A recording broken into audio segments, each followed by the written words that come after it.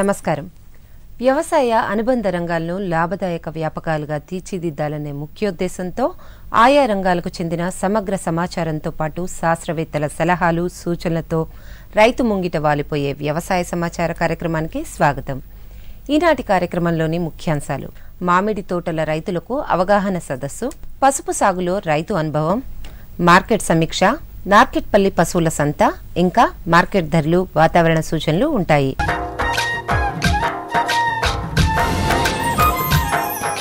మన రాష్ట్రంలో సాగులో ఉన్న పండ్ల తోటల్లో మామిడి ముఖ్యమైనది. మామిడి సాగు చేయు రైతులు సాగులో ఎదుర్కొంటున్న సమస్యలకు చక్కటి సులభమైన పరిష్కార మార్గాలు చూపుతూ నాణ్యమైన అధిక ఫలసాయం పొందేలా వారిని ప్రోత్సహించాలనే ముఖ్యోద్దేశంతో నూజివీడు మామిడి పరిశోధనా స్థానం వారు ఆంధ్ర బ్యాంక్ వారి సహకారంతో రైతు అవగాహన సదస్సు నిర్వహించారు. ఆ వివరాలు మీకోసం. పండ్లలో రారాజుగా పిలువబడుతున్న మామిడిని మన రాష్ట్రంలో విరివిగా సాగు చేస్తున్నారు. మామిడి సాగులో నాణ్యత ప్రమాణాలు ఉపయోగించి మంచి దిగుబడులను పొందాలనే ఉద్దేశంతో ఆంధ్ర బ్యాంకు సహకారంతో నూజివీడు మామిడి పరిశోధనా స్థానంలో ఈ నెల పదమూడున రైతులకు అవగాహన సదస్సు నిర్వహించారు. ఈ సమావేశంలో రైతులు మామిడి సాగులో ఆచరించాల్సిన మెళకువలను శాస్త్రవేత్త అపర్ణ గారు రైతులకు వివరించడమే కాకుండా రైతుల సందేహాలకు సమాధానాలిచ్చారు. మామిడి సాగుకు అందిస్తున్న రుణాల వివరాలను Andhra bank deputy general manager Ravikumar రైతులకు వివరించారు. మామిడిలో అధిక దిగుబడులు సాధించేందుకు ఆయా ప్రాంతాలకు సరిపోయే రకాలను ఎంపిక చేసుకోవాలని గుంటూరు లాంఫామ్ ప్రధాన శాస్త్రవేత్త నారం నాయుడు రైతులకు సూచించారు. మన ప్రాంతానికి ఎటువంటి రకాలు అనుకూలంగా ఉంటాయో అటువంటి రకాలను మాత్రమే ఎంపిక చేసుకొని సాగు చేయాలి. పచ్చిరొట్ట పైర్లు వేసి లేదంటే పాదుల్లో పశువుల ఎరువు వెర్మి కంపోస్ట్ వంటి ఎరువులు వేసి సేంద్రియ ఎరువులు వాడుకుని పెంచినట్లయితే మొక్కల్లో సహజంగా కనబడేటువంటి సూక్ష్మజాతి లోపాలన్నీ కూడా నివారింపడతాయి మామిడిలో నీటి యాజమాన్యం చాలా ప్రాధాన్యత సంతరించుకుంది. ఏ దశలో నీళ్ళు ఇవ్వాలి ఏ దశలో నీరు ఆపాలన్నది కాయ నాణ్యతను కానివ్వండి కాపును కానివ్వండి కూడా నిర్ధారిస్తుంది. అక్టోబర్ నెల మొదలుకొని పూతబెట్టి కాయ పిందె ఏర్పడే వరకు కూడా చెట్టుని బెట్ట గురి చేయాలండి నీరు ఇవ్వకూడదు. అదేవిధంగా పిందె ఏర్పడిన తర్వాత మళ్ళీ నీరు కట్టినట్టయితే ఆ పిందెలు దృఢపడి కాయలు బాగా పెరుగుతాయి. కోతకు ఒక నెల రోజులు ముందుగా నీరు ఇవ్వడం అనేది ఆపేసినట్లయితే కాయలో నాణ్యత కూడా పెరుగుతుంది. కాయని సరైన దశకి పక్వ దశకి చేరినప్పుడు మాత్రమే కోయాలి. విదేశాలకు ఎగుమతి చేసే కాయలనైతే పది నుంచి పదమూడు శాతం చక్కెర శాతం ఉండేటప్పుడు కోయాలని చెప్తున్నారు. దేశంలోనే అమ్మకాన్ని నిర్దేశించబడినట్లయితే పదిహేడు నుంచి పద్దెనిమిది శాతం చక్కెర శాతం చేరినప్పుడు కోసుకోవాలి కాయల్ని. ఈ కార్యక్రమంలో పాల్గొన్న రైతులు మామిడి సాగులో ఎదుర్కొంటున్న సమస్యలను అధికారులను అడిగి తగిన సమాధానాలు పొందారు. ఈ కార్యక్రమంలో రైతులు శాస్త్రవేత్తలతో పాటు నాబార్డ్ ఏజీఎం మధుమూర్తి కృష్ణా జిల్లా ఉద్యాన శాఖ అదనపు సంచాలకులు సుభాని పాల్గొన్నారు. ఈ రోజు ఇక్కడ మామిడి పంట మీద మరి శాస్త్రవేత్తలు ఉద్యానవన శాఖ శాస్త్రవేత్తలు వచ్చేసి చక్కటి సూచనలు ఇవ్వడం జరిగింది. ఈరోజు ఈ సదస్సులో మేము అనేక మెలకువల గురించి చెప్పించడమే కాకుండా వ్యవసాయదారులకు బ్యాంకు నుంచి మామిడి పెంచడానికి ఎటువంటి రుణాలు ఇస్తామో కూడా వాటిని కూడా వివరంగా చెప్పడం జరిగింది. మామిడి తోటలు వేయగో- వేయగోరేవారు ఏదైనా శాఖకి వెళ్ళేసి అడిగితే ఎకరానికి ముప్పై రెండు వేల ఐదు వందల రూపాయలు చొప్పున మేము రుణం ఇవ్వడం జరుగుతుందనేసి తెలియజేశాము.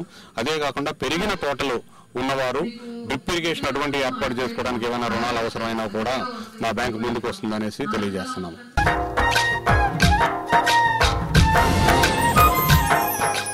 మన రాష్ట్రంలో పసుపు పంటను నిజామాబాద్ కరీంనగర్ జిల్లాల్లో అధిక విస్తీర్ణంలో సాగు చేస్తున్నారు. మార్కెట్లో పసుపు పంట ధర నాణ్యతపై ఆధారపడి ఉంటుంది. పసుపు సాగు పంట కోత ఉడికించడంలో శాస్త్రీయ యాజమాన్య పద్ధతులు పాటిస్తూ నాణ్యమైన అధిక దిగుబడులు సాధిస్తూ మిగిలిన రైతులకు ఆదర్శంగా నిలుస్తున్నాడు కరీంనగర్ జిల్లా రాయకల్ మండలానికి చెందిన రైతు సంగిడి రామరెడ్డి. పసుపు సాగులో ఆయన అనుభవాలను గురించి ఇప్పుడు మనం తెలుసుకుందాం.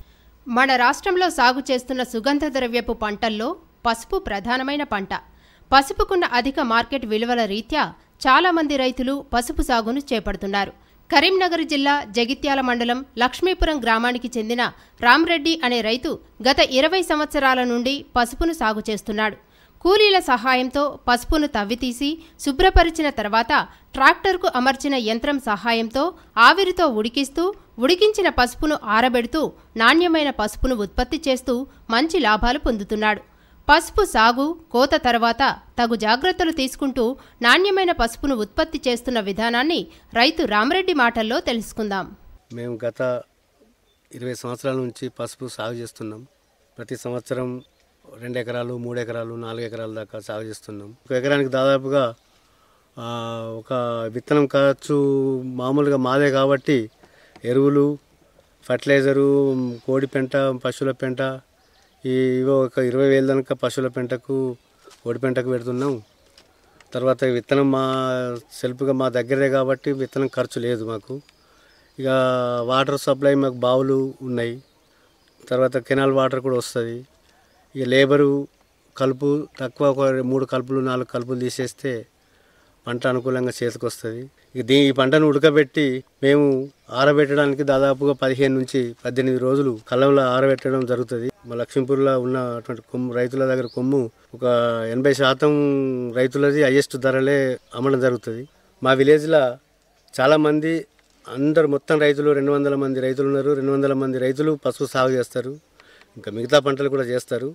వేరుశెనగ వరి తర్వాత ఈ పసుపు మాత్రం ఒక ఒక్కొక్క రైతు ఇంచుమించు ఎకరన్నర నుంచి రెండు ఎకరాలు మూడు ఎకరాల మధ్యలో సాగు చేస్తూ ఉంటారు. మా ఊళ్ళో పండేటువంటి కొమ్ము మంచి నాణ్యత ఉంటుంది కాబట్టి మేము నిజామాబాద్ మార్కెట్కు తీసుకువెళ్తేనే ఆడ కం అర్తిదారులు దాన్ని చూస్తుంటేనే హైయెస్ట్ ధరను నిర్ణయించి మాకు ఓపెన్గా ఈ ధర వలుకుతుంది ఇది ఐదు వేలు వలుకుతుంది ఇది ఆరు వేలు వలుకుతుంది అని చెప్పగలుగుతారు. ఎకరానికి తక్కువలో ఇరవై ఐదు క్వింటాలు ఎక్కువలో ముప్పై నుంచి ముప్పై ఐదు క్వింటాల దాకా దిగుబడి వస్తుంటుంది. ఇప్పుడు కొన్ని హార్వెస్టింగ్ చేసి రెడీ అయినాయి ఇంకా కొన్ని చేస్తూ ఉన్నారు. ఇంకొక వారం రోజులలో ఉడకబెట్టేసి అమ్మాలని అనుకుంటున్నాం.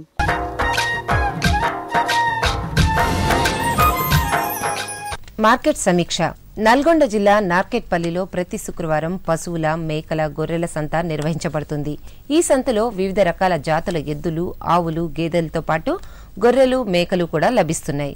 నార్కెట్పల్లి చుట్టుపక్క ప్రాంతాల నుండి పశువుల సన్నజీవాల పెంపకదారులు పశువులు గొర్రెలు మేకలను ఈ సంతలో అమ్మకాలు కొనుగోళ్ళు వంటివి సాగిస్తున్నారు.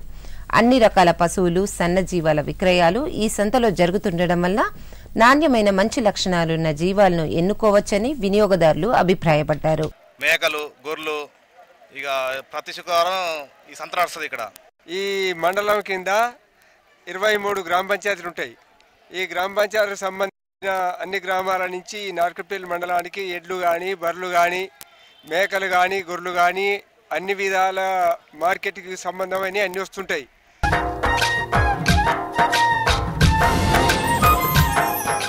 ఈరోజు మార్కెట్ ధరలు ఈ విధంగా ఉన్నాయి. ధర్మవరం బీపీటీ వరి క్వింటాలుకు కనిష్ట ధర పన్నెండు వందలు గరిష్ట ధర పన్నెండు వందల యాభై ఆత్మకూరు సోనా మసూరి పదహారు వందలు పదిహేడు వందలు నెల్లూరు ఎంటీయు పది పది పన్నెండు వందల యాభై పదమూడు వందలు బద్వేల్ మసూరి కనిష్ట ధర పదమూడు వందలు గరిష్ట ధర పదమూడు వందల యాభై అనంతపురం వేరుశెనగ క్వింటాలుకు కనిష్ట ధర మూడు వేల ఏడు వందలు గరిష్ట ధర మూడు వేల ఎనిమిది వందలు నందికొట్కూరు శనగ గులాబీ రకం మూడు వేల మూడు వందల యాభై మూడు వేల ఆరు వందలు. తేనెకల్లు ప్రొద్దుతిరుగుడు మూడు వేల వంద మూడు వేల మూడు వందలు.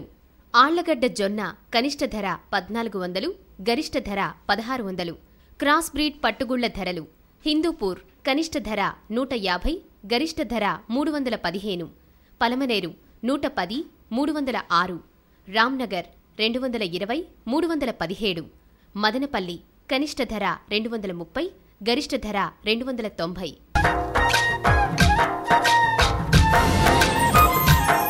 హైదరాబాద్ వాతావరణ కేంద్రం అందించిన సమాచారం ప్రకారం పగటి ఉష్ణోగ్రతలు ముప్పై మూడు నుంచి నలభై డిగ్రీల సెల్సియస్ మధ్య రాత్రి ఉష్ణోగ్రతలు ఇరవై నుంచి ఇరవై ఏడు డిగ్రీల సెల్సియస్ మధ్య నమోదయ్యే సూచనలున్నాయి. వ్యవసాయ సమాచారం ఇంతటితో సమాప్తం. నమస్కారం.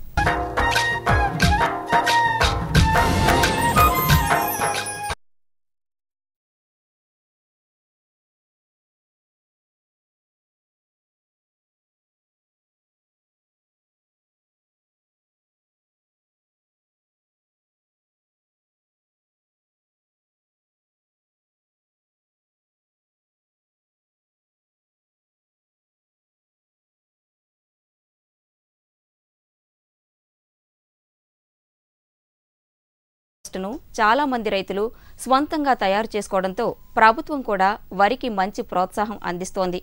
ఈ అవకాశాన్ని ఉపయోగించుకుని వర్మీ బెడ్లను స్వయంగా ఏర్పాటు చేసుకునే రైతులు వర్మీ కంపోస్టు తయారీలోని మెళకువలను తెలుసుకోవడం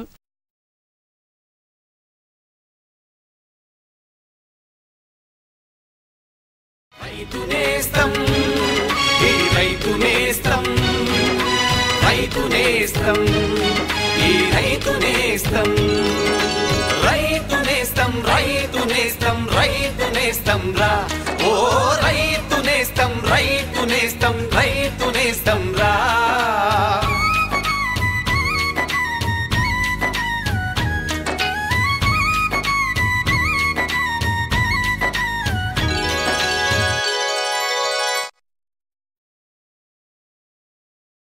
కాలానికి వాతావరణ పరిస్థితులకు అనువైన పంటల సాగులోని వివిధ మెళకువలను రైతన్నలకు అర్థమయ్యేలా వివరిస్తూ ఆధునిక వ్యవసాయ విధానాలపై అవగాహన కల్పిస్తున్న రైతునిస్తం కార్యక్రమానికి స్వాగతం.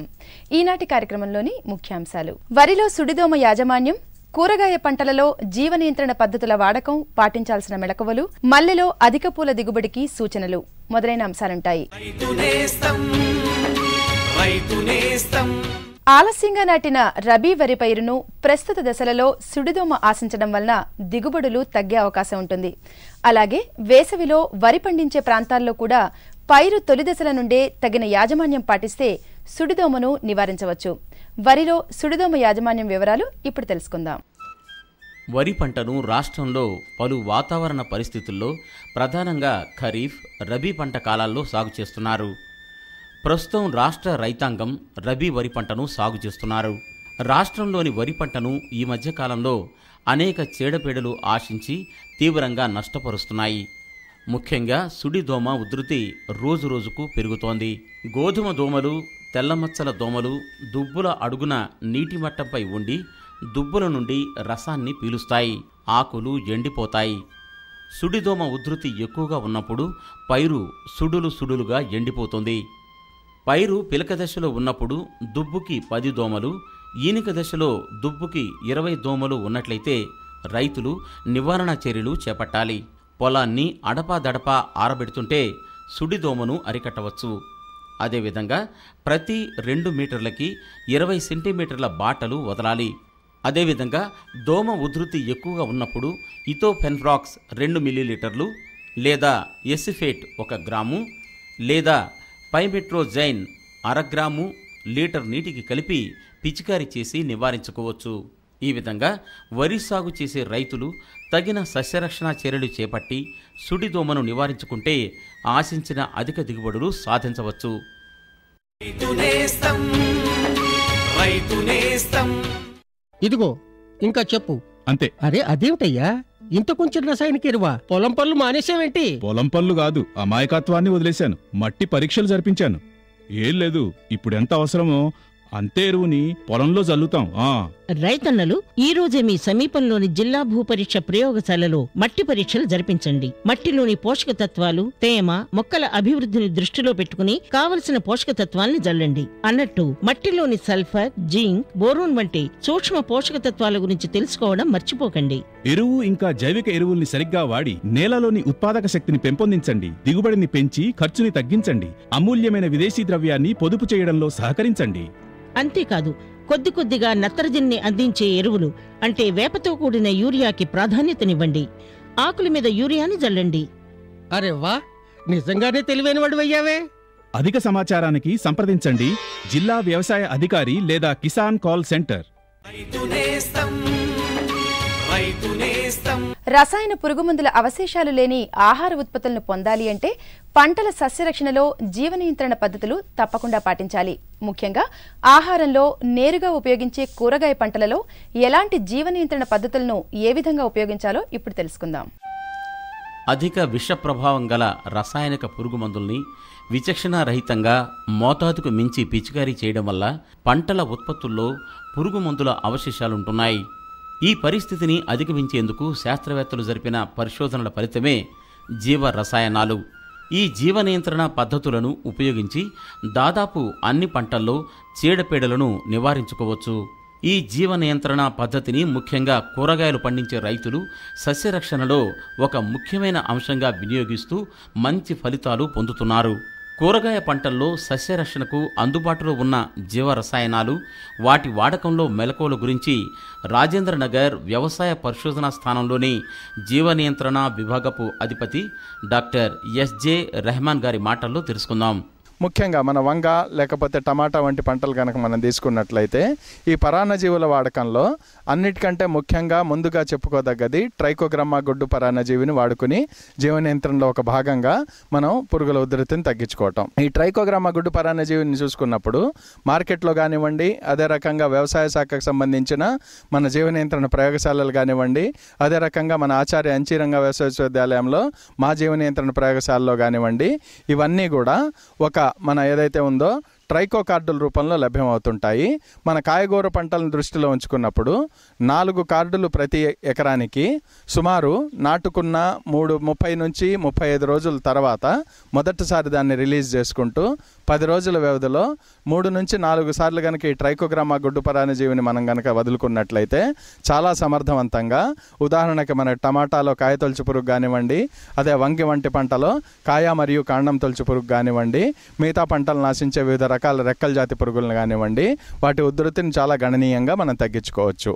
ఇక రెండవది మనం ముఖ్యంగా చూసుకునేది ఈ బదనికలు. అది అల్లిక రెక్కల పురుగులు కానివ్వండి అదే రకంగా మన ఏదైతే అక్షింతల పురుగులు ఉన్నాయో ఇవి మన పంట పొలాన్ని ముఖ్యంగా కాయగూరల పంటలను ఎక్కువగా ఆశించే పేనుబంక తెల్లదోమ దీప పురుగులు వీటి మీద అవి భుజిస్తూ ఉంటాయి కాబట్టి ఈ బదనికలను మనం సంరక్షించుకోవటం ద్వారా అంటే రసాయన పురుగు మందుల వాడకంలో కొన్ని జాగ్రత్తలు పాటిస్తూ వీలైనంత వరకు మిత్ర పురుగులకి తక్కువ హాని చేసే రసాయన పురుగు మందుల్ని అది కూడా అవసరాన్ని బట్టి కనుక మనం చూసుకుని తప్పనిసరైన పరిస్థితుల్లో కనుక మనం వాడుకున్నట్లయితే బదనికలు సమర్థవంతంగా సంరక్షించబడి తద్వారా బదనికల వలన మనం ఏదైతే మన రసం పీల్చే పురుగుల సముదాయం గణనీయంగా తగ్గించుకోవచ్చు. ఇక మూడవది ఈ మధ్య కాలంలో ఎక్కువగా ప్రాచుర్యంలోకి వచ్చింది. వైరస్ ఆధారిత జీవ రసాయనాలు ఉన్నాయి. దాన్ని మనం ఎన్పివి ద్రావకం అని చెప్పుకుంటుంటాము. ఇది మన- మన చాలా వరకు కాయగూరల పంటలు నాశించే పొగాకు పురుగు ఉధృతిని తగ్గించడానికి స్పొడప్ట్రా ఎన్పివి అని దొరుకుతుంటుంది. అదే రకంగా మన వివిధ పంటలు నాశించే కాయదొలుచు పురుగు ఏదైతే ఉన్నదో శనగపచ్చ పురుగు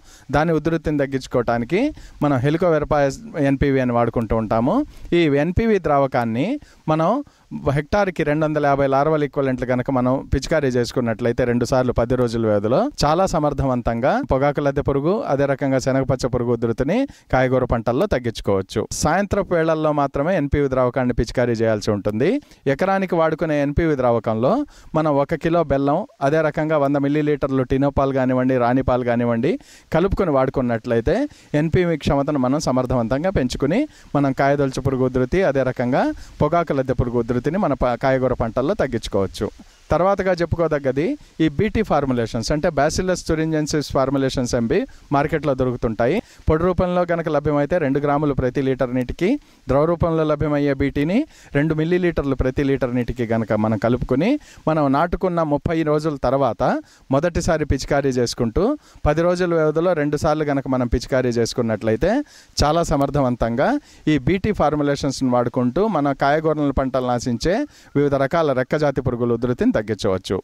ఈ మధ్య కాలంలో కీటకనాశక శిలీంధ్రాలు ఏవైతే ఉన్నాయో బవేరియా బ్యాసియానా అన్నది రెక్కల జాతి పురుగులు ఉధృతిని తగ్గించడానికి మెటరైజే మెనైసోప్లే అన్నది వేరు నాశించే పురుగులు ఏవైతే వేరు పురుగులు తద్వారా ఉన్నాయో వాటిని తగ్గించడానికి ఇక వర్టిసిలియం లకాని అన్నది మన కాయగూర పంటలు నాశించే వివిధ రకాల రసం పీల్చే పురుగుల సముదాయం ఏదైతే ఉన్నదో వీటి ఉధృతిని తగ్గించడానికి పనికొస్తుంది. ఇది ఏదైనప్పటికీ కూడా పొడి రూపంలో లభ్యమయ్యే వీటిని ఐదు గ్రాములు ప్రతి లీటర్ నీటికి కలుపుకుని పది రోజుల వ్యవధిలో రెండు సార్లు మన పురుగు పంట పొలాలను ఆశిస్తుంది అనుకున్న సమయంలో గనక పిచికారీ చేసుకున్నట్లయితే చాలా సమర్థవంతంగా ఈ రసం పీల్చే పురుగుల ఉధృతిని అదే రకంగా వివిధ తెగుళ్ళను మనం కాయగూర పంటల్లో తగ్గించుకోవచ్చు. ఇక చివరిగా కాయగూరల పంటలు నాశించే వివిధ రకాల తెగుళ్ళు నారుకుళ్ళు తెగులు కానివ్వండి అదే రకంగా మనం తీసుకున్నట్లయితే వేరుకుళ్ళు తెగులు కానివ్వండి కాండం కుళ్ళు తెగులు ఇవన్నీ వస్తుంటాయి కాబట్టి వీటి ఉధృతిని తగ్గించడానికి ట్రైకోడర్మా విరిడి అనబడే జీవరసాయనము మూడు రకాలుగా మనం వాడుకోవచ్చు. ఎనిమిది గ్రాములు ట్రైకోడర్మా విరిడి ప్రతి కిలో విత్తనానికి కనుక కలుపుకుని విత్తన శుద్ధి చేసుకుని నాటుకున్నట్లయితే మున్ముందు పంట కాలంలో వచ్చే ఏదైతే మన ఇవి ఉన్నాయో వాటి ఉధృతిని తగ్గించడం జరుగుతుంది. లేని పక్షంలో ఐదు గ్రాములు ప్రతి లీటర్ నీటికి ట్రైకోడర్మా విరిడిని కలుపుకుని ఆ ట్రేలో మనం నాటుకునే ముందు నారు ఏదైతే ఉందో పూర్తిగా వేరు మునిగేట్టు నలభై ఐదు నుంచి ఒక గంట వరకు నలభై ఐదు నిమిషాల నుంచి ఒక గంట వరకు ఉంచుకుని తర్వాత కనుక నాటుకున్నట్లయితే మనం రాబోయే తెగుళ్ళని చాలా వరకు సమర్థవంతంగా తగ్గించుకోవచ్చు. ఈ విధంగా కూరగాయ పంటల్లో జీవ రసాయనాల ద్వారా చీడపీడలను నివారించుకుంటే రసాయనాల అవశేషాలు లేని నాణ్యమైన దిగుబడుల్ని తక్కువ ఖర్చుతో పొందవచ్చు.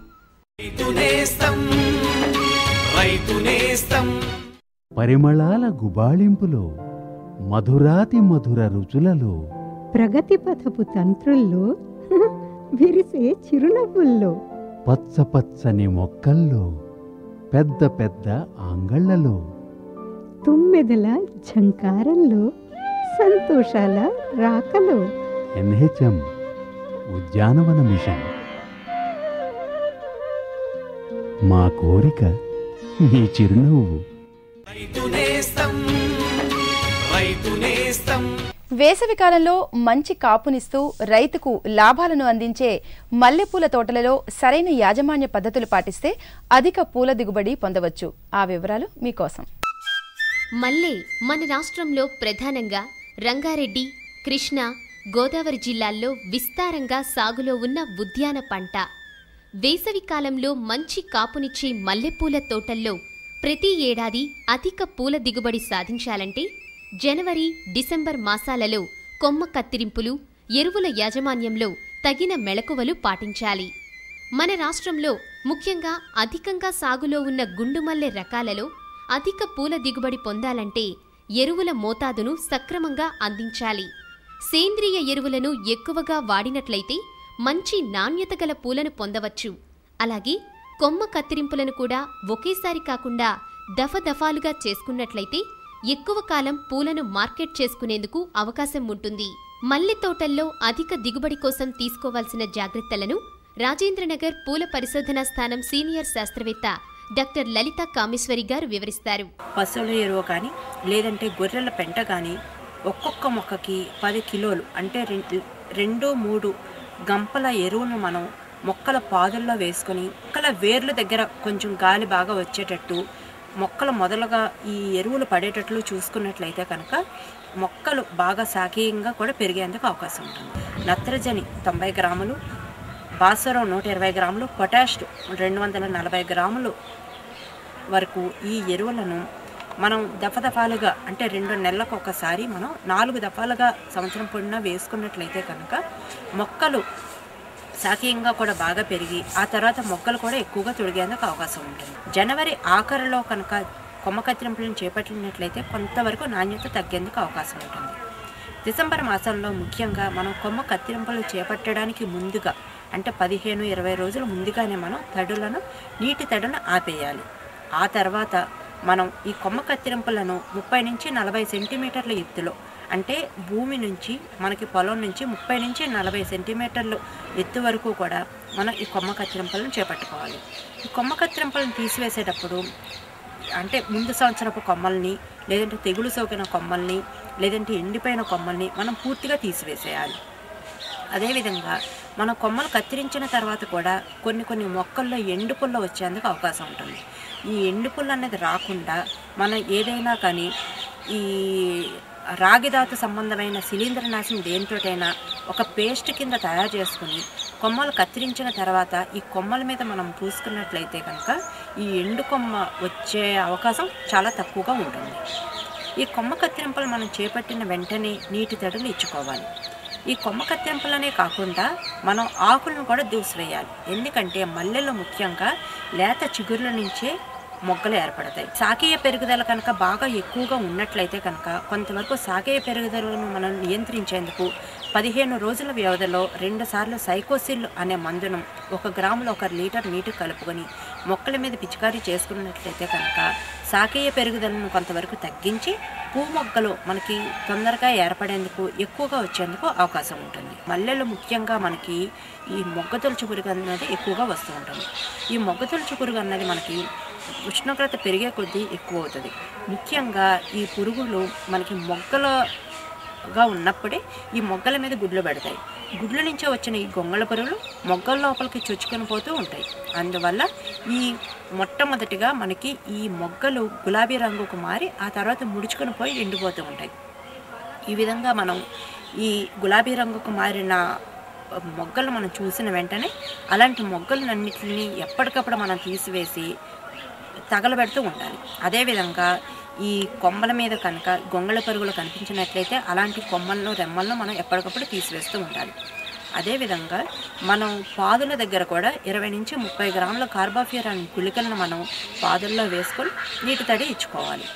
లేదంటే మొగ్గల మీద ఆకుల మీద కొంతవరకు గొంగళ పురుగులను నివారించుకోవడానికి డైక్లోరవాస్ అనే మందును ఒక గ్రాము ఒక లీటర్ నీటికి కలుపుకొని మనం పిచికారీ చేసుకున్నట్లయితే కనుక కొంతవరకు ఈ మొగ్గ తలచే పురుగును మనం నివారించుకోవాలి ఈ విధంగా మల్లె సాగు చేపట్టిన రైతులు శాస్త్రవేత్తల సూచనల మేరకు సకాలంలో కొమ్మ కత్తిరింపులు చేసుకుని తగిన యాజమాన్యం చేసుకుంటే వేసవి కాలమంతా మంచి పూల దిగుబడి పొందవచ్చు.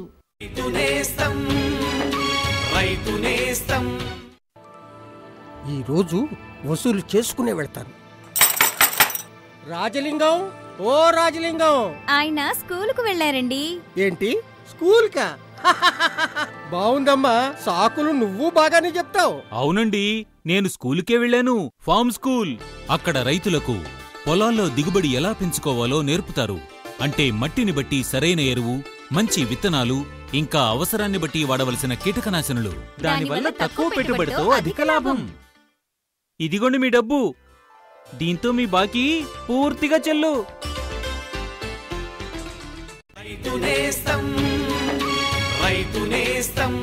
ఈ నెల ఇరవై ఏడవ తేదీ బుధవారం సాయంత్రం ఆరు గంటల నుండి ఏడు గంటల వరకు ప్రసారమయ్యే రైతు నేస్తం ప్రత్యక్ష ప్రసారంలో మొక్కజొన్న నిల్వ మార్కెటింగ్లో మెళకువలు అనే అంశం గురించి రాజేంద్రనగర్ మొక్కజొన్న పరిశోధనా స్థానం ప్రధాన శాస్త్రవేత్త డాక్టర్ ఎంఆర్ సుదర్శన్ గారు రైతులు ఫోన్ ద్వారా అడిగే ప్రశ్నలకు నేరుగా సమాధానాలిస్తారు. ఇందుకు మీరు సంప్రదించవలసిన ఫోన్ నంబర్లు సున్నా నాలుగు సున్నా రెండు ఏడు సున్నా మూడు ఒకటి నాలుగు మూడు ఒకటి రెండు ఏడు సున్నా మూడు ఒకటి నాలుగు మూడు రెండు రెండు ఏడు సున్నా మూడు ఒకటి నాలుగు మూడు మూడు. గుర్తుంచుకోండి ఈ బుధవారం సాయంత్రం రైతు నేస్తం ప్రత్యక్ష ప్రసారంలోని అంశం మొక్కజొన్న నిల్వ మార్కెటింగ్లో మెళకువలు.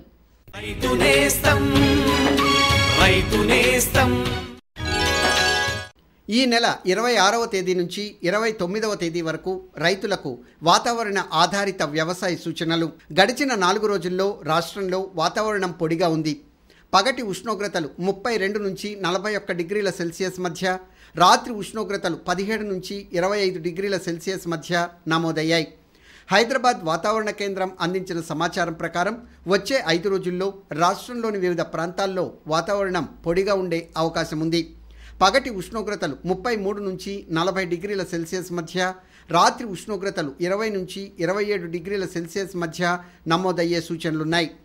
ప్రస్తుత వాతావరణ పరిస్థితుల్లో వరిలో కాండం తొలిచే పురుగు అగ్గి తెగులు సోకే అవకాశం ఉంది వరిలో కాండం తొలిచే పురుగు నివారణకు రెండు గ్రాముల కార్టాప్ హైడ్రోక్లోరైడ్ లేదా ఒకటిన్నర గ్రాముల ఎసిఫేట్ లీటర్ నీటికి కలిపి పిచికారీ చేయాలి.